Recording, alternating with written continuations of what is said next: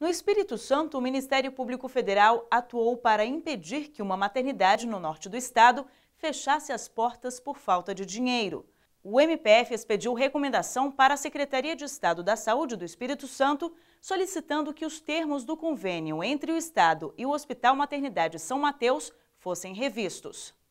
O Hospital Maternidade de São Mateus, no Norte Capixaba, é uma instituição filantrópica e presta o serviço chamado Portas Abertas. Todo mundo que chega é acolhido. O hospital recebe verbas do SUS para atender a pacientes de seis municípios da região, mas na prática vem gente até do sul da Bahia. Acontece que no fim do mês o balanço financeiro fica no vermelho e a instituição vive com o risco de fechar. A gente está sempre procurando reduzir custos, buscando alguma forma de aumentar a receita, de fazer convênios, de melhorar os contratos, mas ainda é deficitário.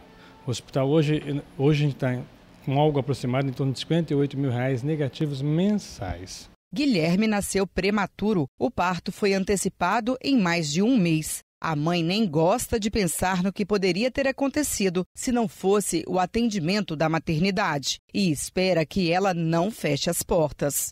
Eu espero que realmente isso não venha acontecer, porque muitas mães vão passar, né, muito aperto com isso.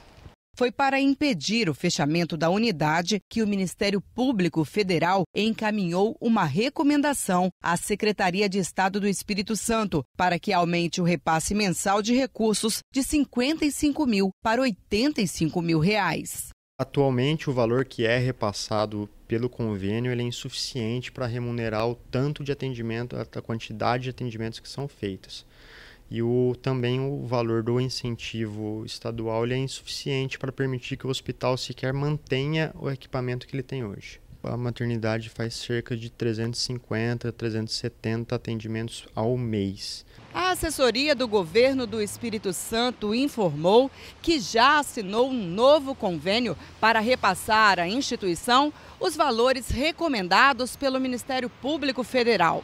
Além dessa iniciativa, o MPF tem várias outras ações no norte do estado para a redução dos índices de mortalidade materno-infantil. A gente tem um, uma agenda de reuniões com os gestores públicos, com os diretores de hospital, que acaba sendo quase que mensal, assim, e temos obtido bons resultados com isso. É, além disso, tem, nós temos acompanhamento na questão de ponto, de, de frequência de médicos e de de humanização de partos, há vários acompanhamentos do Ministério Público na questão de saúde.